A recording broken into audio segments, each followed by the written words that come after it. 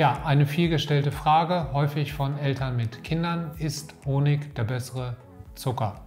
Ähm, da gibt es natürlich zwei Sichtweisen. Die eine Sichtweise ist die von ähm, einer Ernährungsberatung vielleicht. Ähm, hier würde man immer sagen, dass man dem Honig vielleicht den Vorzug gibt, weil es a. ein Naturprodukt ist ähm, und b weil ähm, Honig ähm, häufig dosierter eingesetzt wird als Zucker. Man findet sicherlich ähm, mehr Produkte, in denen industriell ähm, Zucker in hohem Maße beigefügt wird. Das ist ähm, sicherlich der Ketchup, der allgemein bekannt ist, die Cola.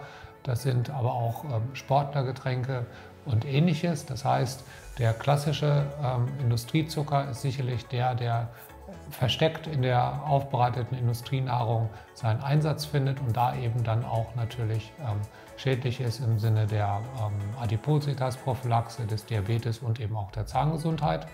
Das findet man beim Honig in dem Maße nicht. Der wird häufig eher natürlich beim eigenen Backen oder Kochen äh, Verwendung finden und beigefügt werden. Und da ja, sind die Dosen, die benutzt werden, einfach häufig geringer als beim Zucker. Zahnmedizinisch sieht die Sache wiederum anders aus.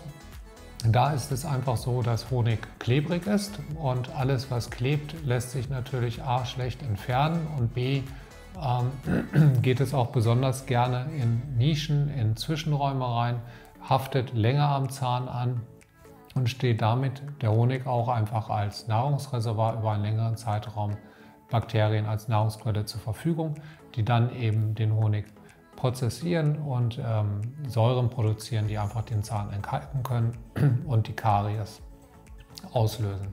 Insofern ernährungstechnisch ist Honig sicherlich positiv ähm, behaftet.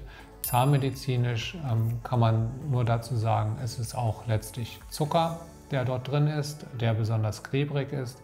Hier wäre ich also vorsichtig. Man kann immer dazu raten, wenn keine Zahnbürste zur Hand ist, wie das zum Beispiel ähm, bei Besuchen ist oder wenn Kinder im Kindergarten sind, einfach mit einem Schluck Wasser zumindest schon mal gründlich auszuspülen, um äh, zumindest einen Teil ähm, nach dem Essen ähm, zu entfernen und danach natürlich die regelmäßige ähm, ähm, Zahnhygiene ähm, am besten dreimal täglich, regelmäßiges gründliches Putzen und das ist dann am Ende neben der Ernährung auch der Schlüssel zum Erfolg, um sich gesunde Zähne ein Leben lang zu bewahren. Gerne ähm, unterstützen wir Sie da weiterhin. Wir bieten eben auch die Kinder- und Jugendprophylaxe an, wo wir speziell eben auch auf die Themen ähm, Ernährung als auch eben Putzverhalten eingehen und Tipps geben, ähm, wie man sich seine Zähne gesund erhalten kann. Bei weiteren Fragen kommen Sie gerne bei uns in der Praxis auf uns zu. Ansonsten freue ich mich, wenn vielleicht das ein oder andere YouTube-Video ähm, ihr, Ihre Aufmerksamkeit findet und bedanke mich bei Ihnen recht herzlich. Vielen Dank.